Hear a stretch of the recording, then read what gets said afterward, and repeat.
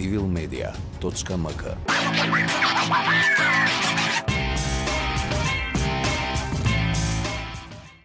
Добре дојдовте. Ова се кратки нозе. Заедно со вас разоткриваме нова серија дезинформации со цврсти факти. Во оваа епизода откриваме дезинформации за загадувањето во Скопје изнесени од кандидатките за градоначалник на Скопје и Центар, Данела Арсовска и Наташа Котлар. Ке зборуваме и за разликата помеѓу лажните вести и дезинформациите и ветувањата и прогнозите на политичарите. Трнуваме веднаш. Загадувањето на воздухот е една од поважните теми за кои се дебатира и во кампањата за овие локални избори. Во оваа дебата, за жал, дел од кандидатите употребуваат и невистини и дезинформации.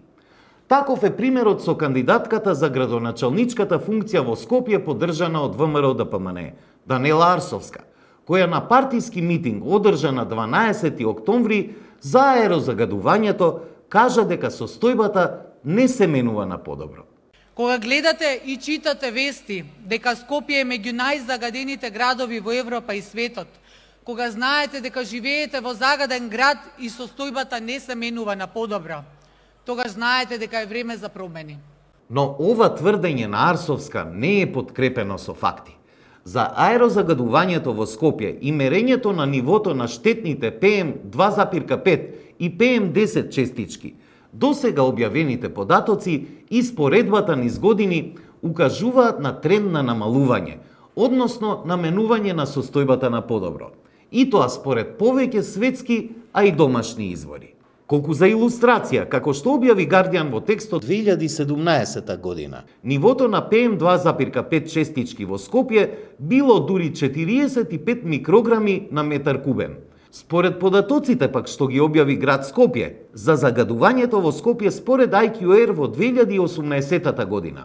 Во Скопје се измерени 34 микрограми на метар кубен PM2,5 честички. Во 2019-тата оваа бројка паѓа на 32,4 микрограми на метар кубен, а во 2020 година имаме 30,6 микрограми на метар кубен PM2,5 честички во воздухот. И нивото на PM10 честички во Скопје се намалува. Резултатите од анализите на загадувањето со PM10 честичките во предходните 4 години покажуваат тренд на намалување на годишно ниво. Пишува Слободен печат во статијата Опаѓа загадувањето во Скопје. Инвертерите, печките на пелети и другите мерки даваат резултати. Објавена минатиот месец, а која се повикува на резултати од Министерството за животна средина и просторно планирање. Во иста насока известува и Канал 5 во прилогот Истражување. Скопје годинава дише помалку загаден воздух во последните 5 години. Објавен на 10 април 2021 година, посочувајќи релевантни статистички податоци. И експерти тврдат дека намалувањето на загадувањето во Скопје е факт. Факт е дека години наназад се намалува загадувањето во Скопје но треба уште да се работи за да бидеме подобри. Ако се продолжи вака, ќе се коригираме блиску до граничните вредности, вели за слободен печат професорот Дејан Мираковски од Штипскиот универзитет, кој учествува во истражувањата и мерењата на загадувањето во Република Северна Македонија. Зошто тогаш во изборната кампања дел од кандидатите изнесуваат невистини за аерозагадувањето? Очигледно тие добро знаат дека квалитетот на воздухот е важна тема за граѓаните и се обидуваат преку оваа тема да ги придобијат нивните гласови. Факт е дека загадувањето во Скопје е намалено, но исто така е факт дека тоа не е доволно. Граѓаните очекуваат далеку подобри резултати за оваа тема која што сериозно влијае на нивните животи и на нивното здравје. А до такви резултати не се доаѓа со невистини и со манипулации – туку со понуда на подобри и поконкретни решенија. Тоа е она што го очекуваат и го заслужуваат граѓаните на Скопје. И кандидатката за градоначалник на општина Центар, Наташа Котлар, во реклама која што беше објавена на официјалната страница на ВМРО ДПМН, зборува за загадувањето, изнесувајќи тврдење дека Скопје е најзагаден град во Европа. Скопје е најзагаден град во Европа. Затоа, ветувам дрворед на секоја улица и зелени оази наместо бетон. Погледнете сега како изгледа тоа. Дека ова тврдење е невистинито, изнесовме доволно статистички податоци во предходниот дел од оваа епизода, кои јасно укажуваат дека аерозагадувањето во главниот град во последниве години се намалува. Дополнително, според сајтот IQR, неколку часа по изјавата на Котлар, шест европски градови биле позагадени од Скопје. Сараево, Амстердам, Загреб, Познањ, Киев и Краков. Според истиот сајт, Скопје е на 380-тото место на листата најзагадени градови во светот во 2020 година, а на 16-то место во Европа истата година. Едно е тоа што се зборува во кампања, а друго се фактите и реалноста. За чудувачки кандидатката Котлар, за да ја испрати оваа невистинита порака и да вети нови дрвореди и борба против бетонизација на градот, одбра локација позната кај граѓаните по бруталното задушување на протестот на паркобраните со полиција, пошто следеше уништување на паркови, дрвореди и бетонизација спроведена токму од партијата чисто кандидат е таа. Што да се каже после сето ова?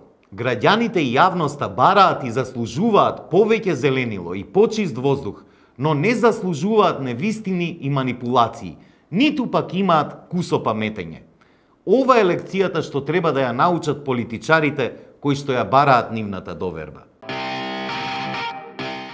Во овој предизборен период, граѓаните слушаат од политичарите разно разни ветувања и предвидувања, кои често пати не се остваруваат. Како што можевте да забележите во изминатите 10 епизоди на Кратки нозе, ние не се занимаваме со остварливоста на ветувањата и предвидувањата на политичарите, кои се предмет на друга методологија што ја користат повеќе страници и проверувачи на факти во земјава, но и во регионот. Откако ќе помине извесен временски период, овие вистиномери анализираат дали дадената прогноза или ветување на одреден политичар е реализирано и во колкав процент, дали е остварено целосно, делумно или пак воопшто не е остварено. Кратки нозе, за разлика од тоа, се фокусираат на изнесените факти, на она што некој го тврди дека е сегашна состојба или дека се случило во минатото. Затоа не ги анализиравме предвидувањата на премиерот Заев за победа во првиот изборен круг на локалните избори – ниту пак најавите на лидерот на опозицијата Мицкоски за победа на предходните избори или пак за формирање на ново парламентарно мнозинство. Тие предвидувања не се остварија, но кратки нозе, како и во оваа епизода, така и во наредните епизоди, ќе продолжи да се занимава со она што политичарите го представуваат како податок или факт, како нешто што е вистина во сегашноста или во минатото – но не е вистина, представува неточен податок или манипулација со вистината. Прогнозите за иднината може да се остварат, а може и да не се остварат, но фактите се неприкосновени. Тие на публиката треба да и се презентираат на вистинит начин, без извртување и без манипулации. Тоа е она што сметаме дека го заслужува публиката и ништо помалку од тоа. Тоа беше се во ова десето издание на Кратки нозе. Слободно предлагајте ни содржини за кои сметате дека се дезинформации. Заедно со вас ќе трагаме по вистината. Се гледаме наскоро. Останете со Цивил Медија.